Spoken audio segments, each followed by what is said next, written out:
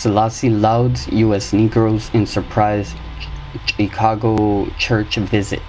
Speaking to a crowded Chicago Baptist church audience on a visit arranged on only two hours' notice, Ethiopian Emperor Haile Selassie made the strongest race relations statement of his current U.S. tour. For the first time, the world famed 62 year old conquering Lion of Judah linked his country with American Negroes, whom he said were of African descent, and spoke out in praise for the Negro struggle for equality in the U.S.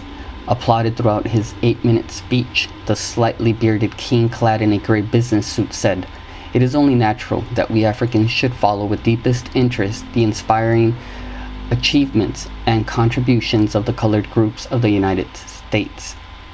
By your actions, your devotions, and your sacrifices, you are justifying everywhere throughout the world the advancement of the cause of racial and social equality and the right of all people to freedom and independence. He concluded, We believe in the truth of the Christian religion that all men are equal before the throne of God, and it is our hope that this universal truth will be the basis of relations between peoples and nations. A throng of 3,000 inside and outside the South Park Baptist Church cheered wildly when King Selassie, in recalling the support of Negroes at the time of the fascist aggression against Ethiopia, said, We felt in those difficult hours that in our fight for independence we were not standing alone, but that the peoples of African origin throughout the world were with us through their moral and material support.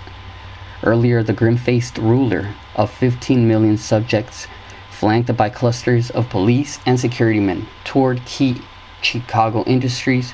Following the rugged industrial tour, the emperor asked to visit the Negro Church since tour sponsors had failed to include a Negro stop on the schedule.